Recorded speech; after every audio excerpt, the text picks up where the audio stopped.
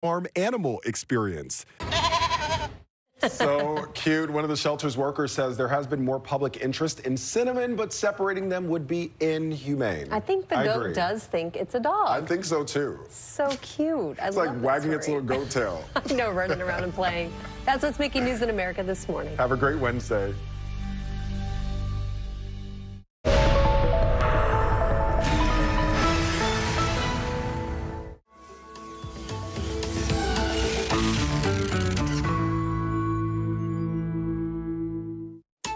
It's Wednesday, March 29th. The shooter killed six people and still had plenty of guns left over. We start here.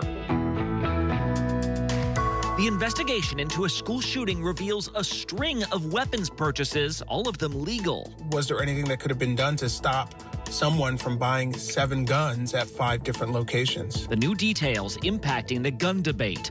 Authorities agreed it would be safer to house migrants in Mexico than that housing caught fire. There's a lot of frustration, a lot of anger, and really a lot of fear again in another border town. Dozens of people are dead. We'll take you to Juarez. And Donald Trump hasn't been arrested no matter what the internet tells you. Wait a second, where are the safeguards here? How are you making sure these are not misused? What happens when fake photos can even fool the fact checkers? From ABC News, this is Start Here. I'm Brad Mielke. In the wake of mass shootings in this country, there's a familiar pattern. We have got to recognize that weapons of war are too prevalent in our streets. Gun control advocates say, once again, this is a sign that guns need to be more tightly regulated in this country, while gun rights groups say banning guns doesn't do anything. Legal firearms, they say, aren't the problem. And I think ultimately, I think what this does is highlight uh, some of the mental health issues, the mental health crisis we have in this country. But when you look at the 10 deadliest shootings in the history of this country, from the concert shooting in Las Vegas to the Pulse nightclub in Orlando to churches and schools, each of those 10 shootings were carried out with legally purchased firearms and ammunition. Lots of ammunition. Authorities say the suspect shot through a door at the Covenant School, a private Christian school. Someone that had multiple rounds of ammunition, prepared for a confrontation with law enforcement. This week, when three nine year olds were gunned down at a Nashville elementary school along with three more adults, police immediately investigated the weapons. It turns out there were a lot of them, all purchased legally. So, once again, the question will be if this case matches the patterns we've seen so many times, is there anything else to be examined here but the laws around guns? ABC's Alex Perez has been talking to everyone connected with this shooting. He's in Nashville now. Alex, first off, you've been spending more time around the school. I mean, what has it been like there in, the 24 hours since? These incidents are always devastating, but particularly devastating when we're talking about three children, each nine years old, killed in this attack. This community is not only focusing on the three staff members that were killed, but especially focusing on those three young kids. A world that does not take refuge in violence. We've seen so many parents, um, so many families come out here outside the school just to pay their respects. We woke up this morning and we were like, we want to do more than just look at social media and look at all these posts that are being made. Just to stop and pause for a moment and sort of hug their kids because uh, they are imagining, you know, what this could be if it happened to them. It's going to be something I never forget. And these parents, I cannot even put myself in their shoes and even be able to get out of bed. You know, I, I just don't understand. Well, and we've really essentially been able to now see inside the school at the time of the shooting. And, you know, a warning here to listeners that some of this audio from police is extremely disturbing. But, Alex, I mean, what have we learned about how this unfolded? So, uh, authorities released two body camera videos. Uh, Those are the body camera videos of the two officers that fired their weapons and took out the suspect. Um, the kids are all locked down, but we have two kids that we don't know where they are. Okay. Okay? Yes, ma'am. It's hard to describe how nerve wracking that video is. Let's go! The school alarm is blaring in the background um, because an active shooter uh, protocol has been uh, put into place. Keep pushing. Go. and you see the officers going through the entire school looking for the shooter. Shots fired, shots fired, shots fired, move. And we now know they ended up locating the shooter on the second floor uh, of the school building. The shooter, according to authorities, was actually uh, at a window and had been firing at arriving officers at their police cruisers from the second floor down outside into the parking lot. Stop moving! Stop moving! You hear them yell, put down the gun, don't move. And it appears that doesn't happen. And they quickly uh, fire their weapons, and the shooter is killed. The other, I guess, discovery once the shooter was disabled was the guns that the shooter was carrying and also just the amount of weaponry that the shooter had purchased previously to this, right? What what do we know about the the sort of arsenal that was acquired here? Yeah, an, an arsenal, an eye-popping amount of weapons uh, were discovered. We've interviewed the parents of uh, Audrey Hale, and we've determined uh, that Audrey bought seven firearms. Authorities uh, determined through their investigation that the shooter had actually purchased seven guns in five different locations, legally purchased all of those weapons here in the state. Uh, three of those weapons were used yesterday uh, during this horrific tragedy. And we know from uh, authorities that the shooter's parents say uh, the shooter was being treated by a doctor for an emotional disorder. If it had been reported, there's not a law for that, but had it been reported that she was suicidal or that she was going to kill someone and had been made known to us, then we would have tried to uh, to get those weapons. But as it stands, we had absolutely uh, no idea. And of course, that has now renewed the conversation about uh, gun reform, gun laws, and was there anything that could have been done to stop someone from buying seven guns at five different locations? This is not hyperbole. As a nation, we owe these families more than our prayers. We owe them action. We saw President Biden come out and, and demand that Congress act um, to, to change gun laws, but at this point, there's no indication that that's going to actually happen. Well, and you actually spoke to people who knew the attacker, right? And remember, we talked yesterday about how the shooter was assigned female at birth, then more recently identified as trans, was, we think, maybe using he and him pronouns. That's what it looked like on social media. A lot of people close to the shooter continue to call this person she, and that's, you know, what we hear in a lot of these interviews. But more importantly, were these people saying that they expected this person to go out and commit a massacre? Yeah, uh, you know, authorities identified the shooter as Audrey Hale. And so we talked to people who knew Audrey Hale, who have known Audrey Hale for a very long time, and all of them had the same reaction. They were in shock. Just the big shock. It was a big shock to accept. It was um, it's heart wrenching, honestly. One friend who knew the shooter since uh, junior high uh, tells me that recently uh, the shooter had started to complain about uh, bouts with depression. And what happens on social media? More of a venting. It's a vent. Venting far as something depression, that depression taking over. But uh, something like this, an attack of this caliber, is something that never occurred to any of the people who were close to Hale. Yeah, now we're seeing the fallout around Nashville. Uh, Alex Perez, they were in Tennessee. Thank you. Thanks, Brad. Next up on Start Here, they fled danger, survived a harrowing journey, but it was being trapped in the detention center that killed them. A humanitarian tragedy in Mexico. After the break. University of Utah senior Lauren McCluskey repeatedly asked for help. It was like getting hit by a baseball bat. You have a powerful institution. And you have the audacity to try to cover your ass. Friday night. A lot of troubling information was never public until now. Never before seen surveillance video, exclusive interviews. I'm sorry I couldn't protect their daughter. The stunning investigation. Could Lauren's life have been saved? Friday at 9, 8 central on ABC. Tonight, the shooter, the victims, and what we're now learning from inside that school. Plus, tracking a new cross country storm. Tornado victims again in the path. More Americans turn to the most watched newscast on television. World News Tonight with David Muir.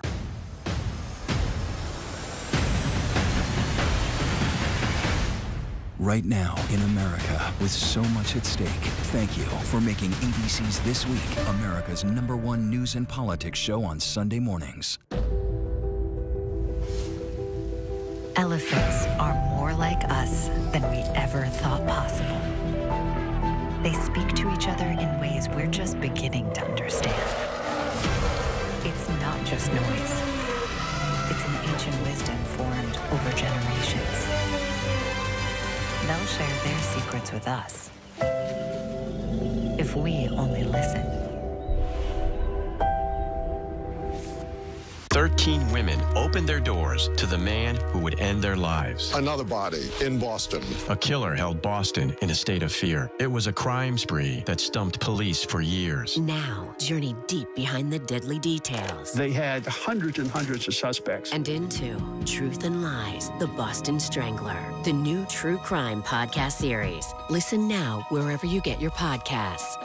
And watch Boston Strangler starring Keira Knightley streaming on Hulu. What is artificial intelligence? That kind of rocked my world for a little bit.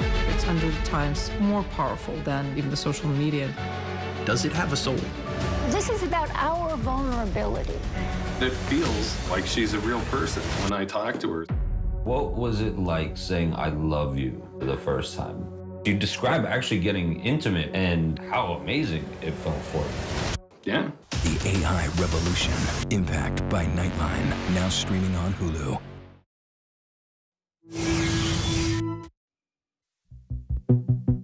There was one major part of immigration policy where Donald Trump might have gained traction, it was this the idea that if someone is fleeing from their country and claiming asylum, they shouldn't get to be picky about which country they end up in. Since taking office, President Biden has arguably backed him up on this, saying if a migrant passes through Honduras, Guatemala, and Mexico on their way to the U.S., perhaps they should have to wait in those countries or apply for asylum there before they keep going. Do not do not just show up at the border. Stay where you are and apply legally from there. Mexico has actually started detaining more migrants the way the U.S. does, but yesterday we learned one of those detention facilities in Mexico had a major fire that has killed at least 40 people. ABC's Mireya Villarreal went straight to the scene in Ciudad Juarez in Mexico. She is back in Texas now, in El Paso, just on the other side of the border. Mireya, what happened? You know, as far as we know, uh, this fire happened late Monday night.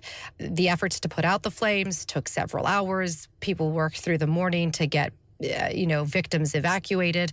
Um, it's still very unclear exactly how this started. Eh, una protesta que ellos eh, iniciaron. You know, if you listen to the Mexican government, they are saying that migrants that were in this facility, this detention location, uh, which is a government location, um, that they were frustrated knowing that they were going to be deported. And so they themselves put mattresses up against some of the walls and lit them on fire, not realizing what sort of turn this could potentially take and that it could be fatal. Um, if you talk to, though, the migrants that are still standing outside that building today, they are very upset and do not believe that this was at all the fault of the people inside, but rather the government who wasn't properly watching them and watching what was happening inside. Um, there's video right now that is leaking out showing um, the evacuation of some of the females that were inside, but the, the smoke filling the rooms of the men's side of the area and nobody going to help them. So it is a very um, tense situation. There's a lot of frustration, a lot of anger, and really a lot of fear again in another border town. Yeah, and I'm wondering where most of these people were from that died, and I guess what the conditions are like in a, a Juarez detention facility. So, as far as we know, a lot of the people that were inside the facility, just as a whole, uh, were from Latin America. Um, but we are hearing from people on the ground that that predominantly we are talking about men from Venezuela who were the victims of the fire.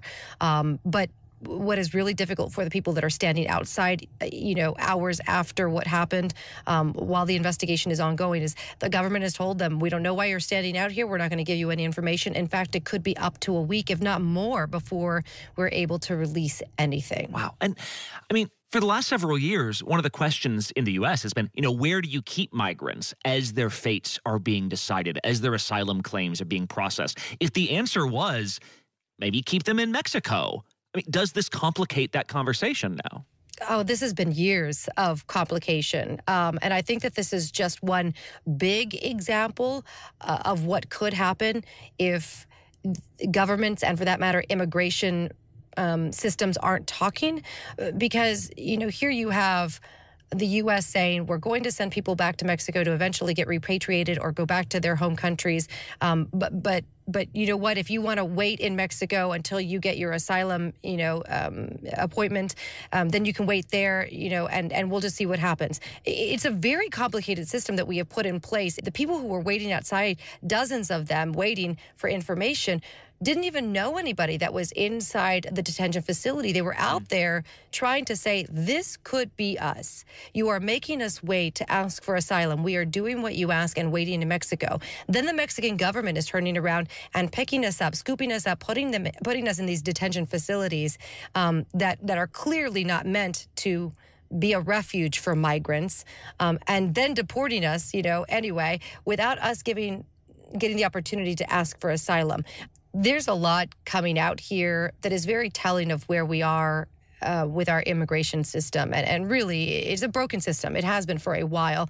And, you know, the new administration is attempting to put new policies and procedures in place, including, for example, an app that should allow you to request an asylum an appointment. If they apply and their application is approved, they can use the same app, the CBP1 app to present at a port of entry and be able to work in the United States legally for two years. The problem is, as we're standing there listening to everybody talk about what's happening, about the fire, they're also showing us on their phones the app just basically um, processing and never getting anyone a, an appointment. Oh, it's kind of just like like they're just sitting yes. there waiting for this app yes. to work, and it not nothing's happening. Many of them say it crashes on a daily basis. That in turn means that we have to stay in Mexico longer, that we have to face these dangerous conditions, and in some cases get picked up put in a detention facility for not having our proper paperwork in hand.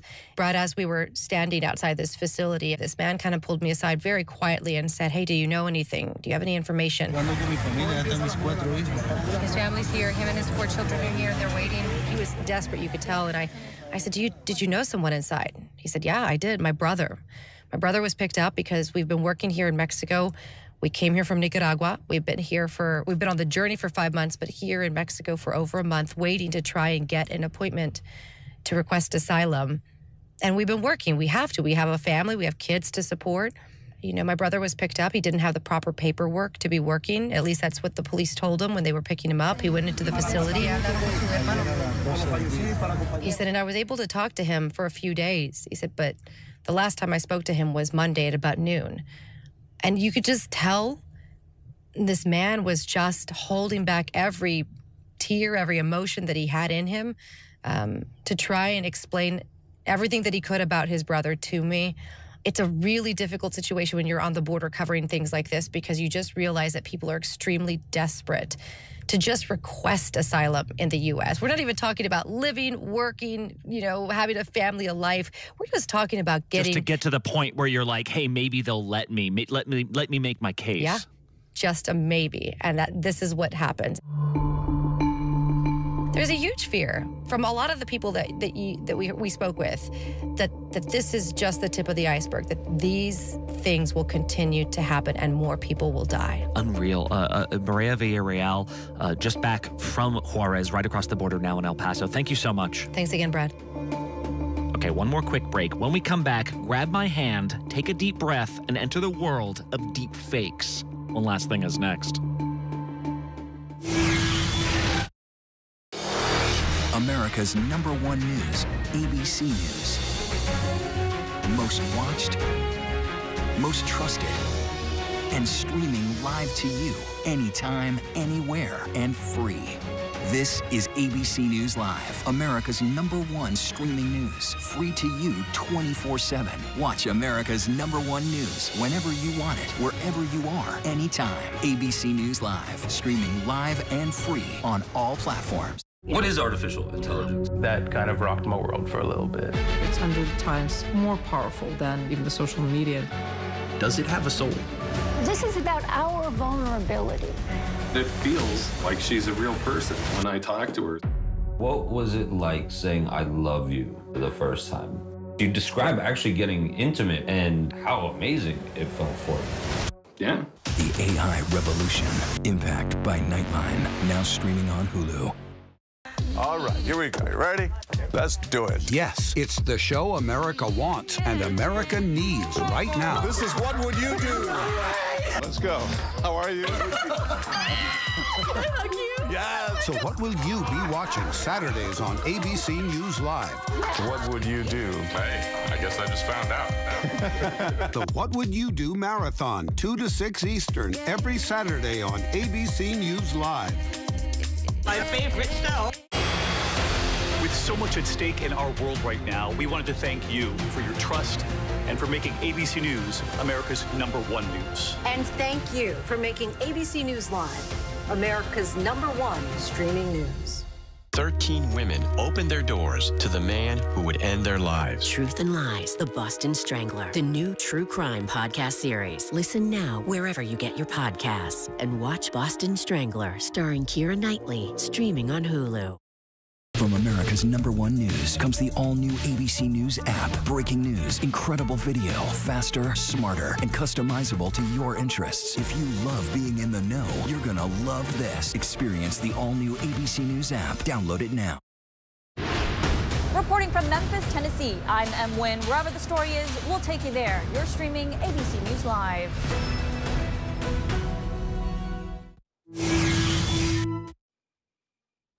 And one last thing.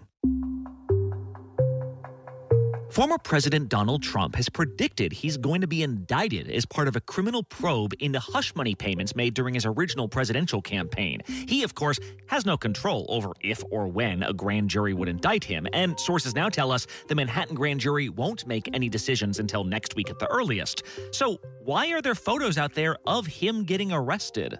They show Donald Trump on the steps um, in front of a courtroom with a dozen police officers handling him and trying to tackle him to the ground. That's ABC's Emmanuelle Saliba, who basically uncovers fake stuff for a living. I focus on misinformation, disinformation, lies on the internet. She says right now we are witnessing a quantum leap in doctored photos.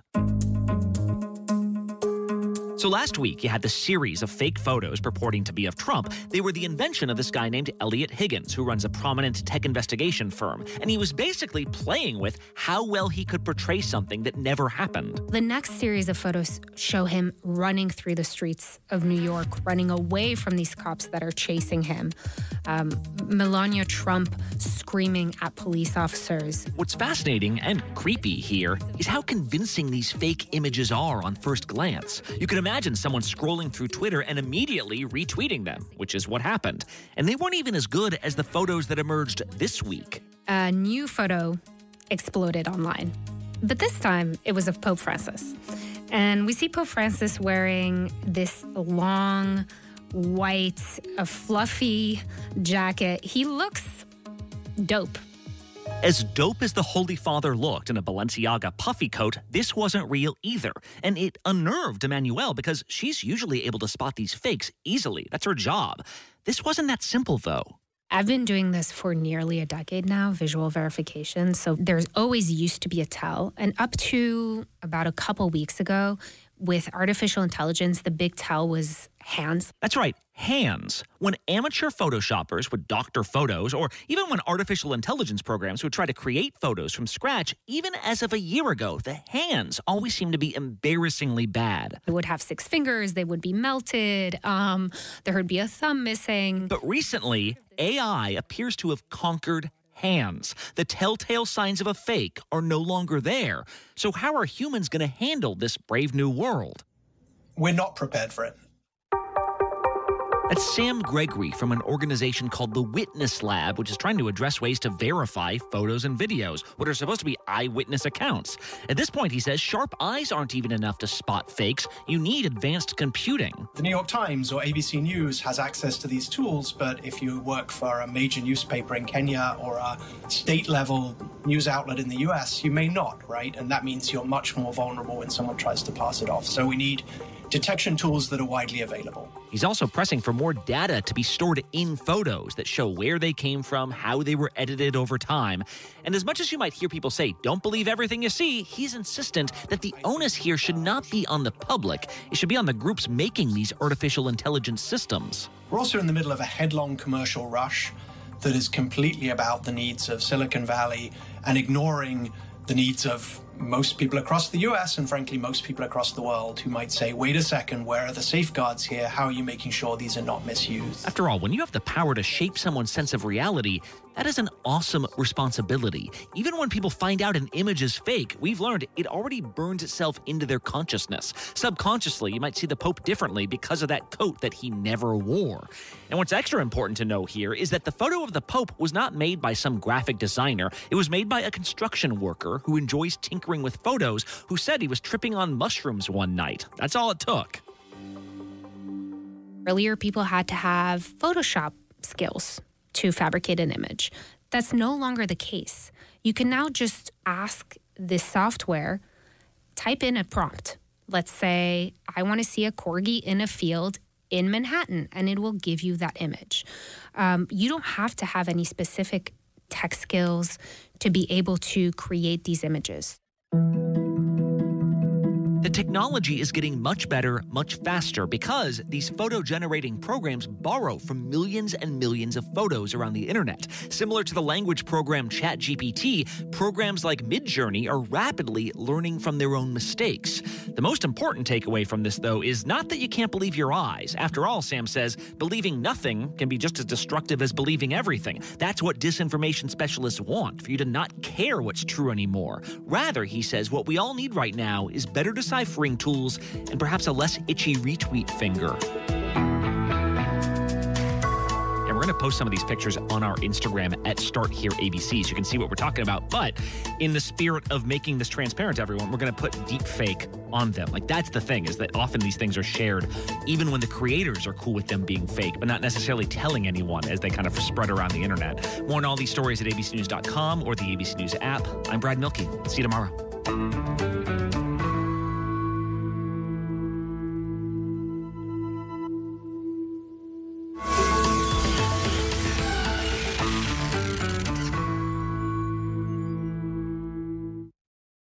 This is ABC News Live. The crush of families here in Poland. At refugee centers in Putin's Russia. On the ground in Ukraine, close to the front line. From the capital, destructive Cat 4 storm. You're along I-5. Boston is in the bullseye. Let's go. ABC News Live, America's number one streaming news. Anytime, anywhere. Streaming 24-7, straight to you for free. Thank you for making ABC News Live America's number one streaming news.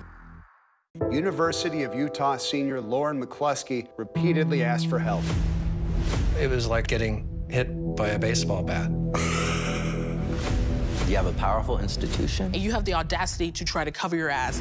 Friday night. A lot of troubling information was never public until now. Never before seen surveillance video, exclusive interviews. I'm sorry I couldn't protect their daughter. The stunning investigation. Could Lauren's life have been saved? Friday at 9, 8 central on ABC. With so much happening these days, it's hard to keep up. Things change hour by hour, minute by minute. The historic weather that's now unfolding. The worries on Wall Street. We're bringing you the right now. Been a nationwide teacher shortage. The right now look at the day ahead. An alert this morning for dog owners and the key takeaways from the biggest stories. World News Now and America This Morning, America's number one early morning news. Today does feel a little different. Early mornings on ABC News Live. From America's number one news source comes the all new ABC News app. Breaking news, incredible video, faster, smarter, and it can customize to you and your interests. If you love being in the know, you're gonna love this. Experience what all the buzz is about. Experience the all new ABC News app. Download it now. Reporting from the earthquake in Turkey, I'm David Muir. Wherever the story, we'll take you there. You're streaming ABC News Live.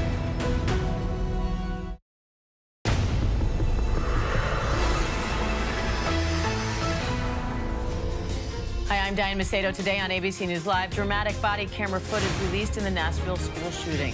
You can see the moment officers arrived at Covenant School racing to stop the rampage. Now the new details about the shooter and the possible missed red flags. Plus how many guns the killer was hiding as we learn more about the victims.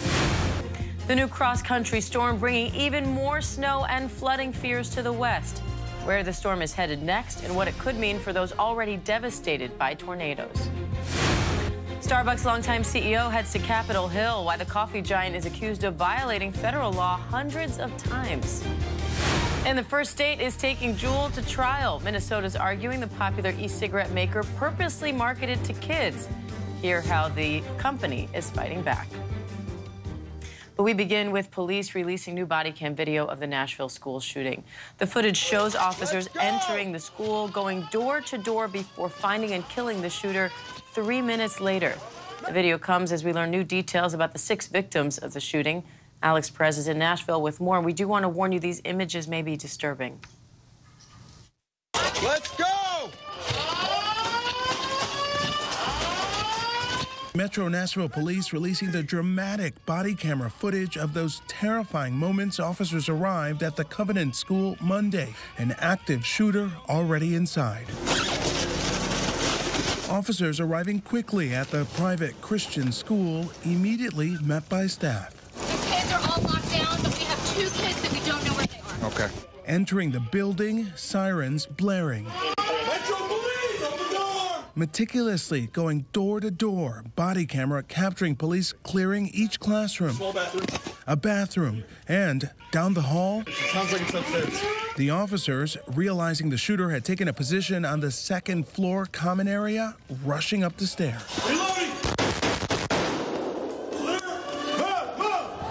Within three minutes of arrival, officers Rex Engelbert and Michael Collazo zeroing in, opening fire, killing the shooter. The horrific tragedy leaving three young children and three staff members dead. Police say the shooter was a former student at the school. This church building was a target of the shooter, but we have no information at present to indicate that the shooter was specifically targeting anyone. New details about the shooter's actions before the rampage. Investigators speaking with the parents of the 28 year old suspect, Audrey Hale, who police say was born female but identified as transgender. Authorities learning that the shooter legally purchased seven firearms from five different local gun stores. Three of those weapons used to carry out the attack. She was under doctor's care for an emotional disorder. Law enforcement knew nothing about the treatment she was receiving, but her parents felt that she should not own weapons. As it turned out,